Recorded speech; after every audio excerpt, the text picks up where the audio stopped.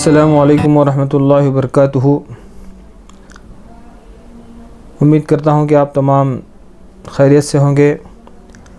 माह रमज़ान का महीना शुरू हो चुका है और इसी मुनासिबत से हमने एक क्विज़ का आगाज़ किया है इस्लामी क्विज़ के नाम से। इस्लामी क्विज़ का लिंक आपको व्हाट्सएप के ज़रिए मिल रहा है। अल्हम्दुलिल्लाह, बहुत सारे लोग उससे मुस्तफ़ हो रहे हैं, उसमें शिरकत कर रहे हैं। और अपनी मालूम में इजाफ़ा कर रहे हैं। अब इस वीडियो बनाने का जो मकसद है कि क्विज़ के दौरान बहुत सारे कमेंट्स आए कि हम अपने जवाब की जाँच नहीं कर पा रहे हैं या उसको सही तौर पर हम सबमिट नहीं कर पा रहे हैं। तो आज के इस वीडियो में हम देखेंगे कि क्विज़ में किस तरह से पार्टिसिपेट करना है और किस तरह से अपने जवाब की तस्दीक कर सकते हैं, उसकी जाँच कर सकते हैं। दूसरी जो अहम बात है अगर हम देखेंगे, हमारे अंदर अगर हम गौर करेंगे, हमारे बच्चे या तलबा पर तो इस्लामी जो मालूम है, उसका फ़कदान है, उसकी कमी है। बच्चे फ़िल्म स्टार्स के, टीवी सीरियल्स के जो कैरेक्टर्स हैं, उनके नाम उनको बहुत अच्छी तरह से याद हैं। मगर जब हम सहाबा के मतलब पूछते हैं, हजूर सल्लल्लाहु अलैहि वसल्लम की सीरत के मतलब पूछते हैं, कुरान से मतलब उनसे सवाल पूछते हैं तो बच्चे जवाब देने से कासिर रहते हैं। ये आज के दौर का अलमिया है। बच्चे सोशल मीडिया में इस तरह से मुलविस हैं कि इस्लामी जो मालूम हैं इस्लामी तालीमत से दूर होते जा रहे हैं। तो इस इस्लामी को से कोशिश की जा रही है कि तलबा को इस्लामी मालूम फ्राहम की जाएँ कुरान की मालूम फ्राहम की जाएँ हजूर अलैहि वसल्लम की सीरत सहाबा की सीरत और इसी तरह से इन इसमें तारीख़ इस्लाम पर भी आ, उसका भी अहाता किया जाएगा।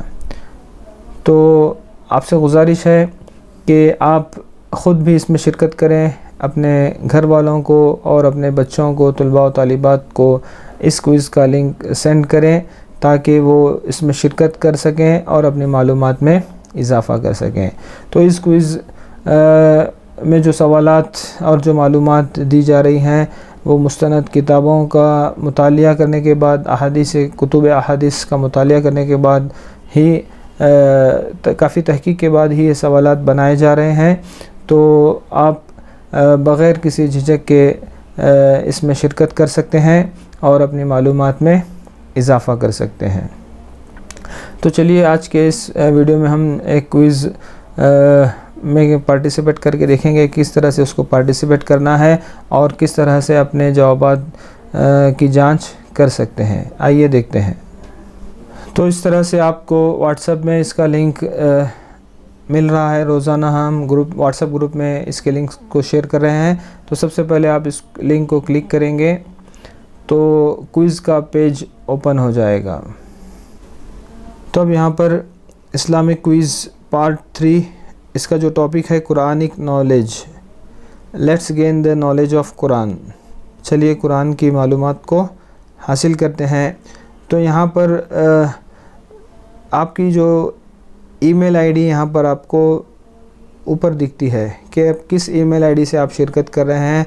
आप उसको बदल भी सकते हैं, किसी दूसरी ईमेल आईडी को भी सेलेक्ट कर सकते हैं। या ऐसे ही आप कंटिन्यू कर सकते हैं। तो पहला जो सवाल है, कुरान मजीद में मक्की सूरतों की तादाद कितनी है? यानी हजूर की जो ज़िंदगी थी नबी ज़िंदगी मक्का में तेरह साल और मदीना में दस साल। तो कुल तेईस साल में कुरान नाजिल हुआ है, चंद सूरतें मक्का में नाजिल हुई हैं और चंद मदीना में। तो जो सूरतें मक्का में नाजिल हुई हैं, उनको मक्की सूरतें कहते हैं। तो यहाँ पर ऑप्शन हैं अट्ठाईस, छियासी, एक सौ चौदह और तीस। तो मैं इसका जवाब लिखता हूँ, टिक करता हूँ 86 यानी मक्की सूरतों की तादाद छियासी है। इसी तरह से कुरान, दूसरा जो सवाल है, कुरान मजीद में मदनी सूरतों की तादाद कितनी है? 28 नेक्स्ट कुरान मजीद की मक्की सूरतों में किन बातों पर ज़ोर दिया गया है? जो मक्की सूरतें हैं उनमें किन बातों पर ज़ोर दिया गया? है तो उसके जो ऑप्शन हैं, तोहद, रिसालत और आखिरत। ज़ोर दी गई है वो तोहद, रिसालत और आखिरत। यानी मरने के बाद उठाए जाने पर इन बातों पर क्या है? ज़ोर दिया गया है। जो अहकाम नाजिल हुए, वो मदनी सूरतों में नाजिल हुए। तो हम यहाँ पर ऑप्शन लेंगे अबव ऑल इसी तरह से चौथा सवाल, कुरान मजीद की सबसे बड़ी सूरत कौन सी है?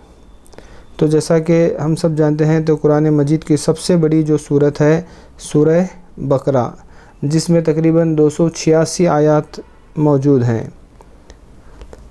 कुरान मजीद की सबसे छोटी छोटी सूरत कौन सी है? तो सूरह कौसर।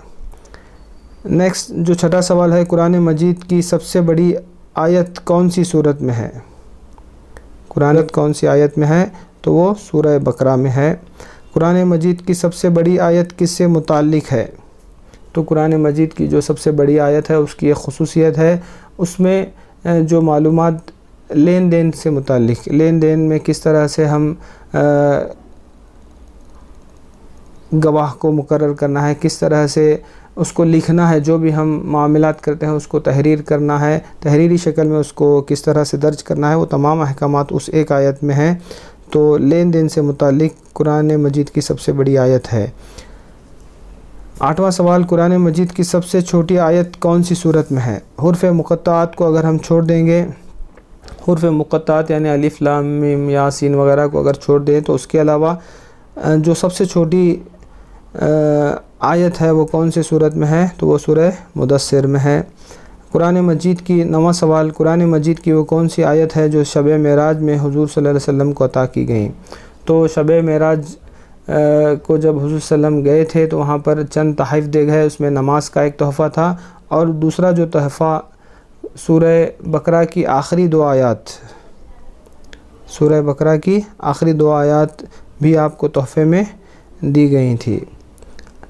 कुरान मजीद की कौन सी दो सूरतें मौज़तन कहलाती हैं? सूरह फ़लक और सूर्य नास, इसका जवाब हम यहाँ पर गलत टिक करेंगे ताकि हम देखेंगे किस तरह से ये काम करता है। तो बहरहाल हमने तमाम दस सवाल थे, उसके जवाब को हम टिक किया है। अब इसको हम सबमिट करेंगे। देखिए, सबमिट करने के बाद आपके पास व्यू स्कोर का ऑप्शन आ रहा है तो आप अपना स्कोर यानी अपने जवाब की यहाँ पर जाँच कर सकते हैं। इसको हम क्लिक करेंगे। तो कुल पचास, दस सवाल थे।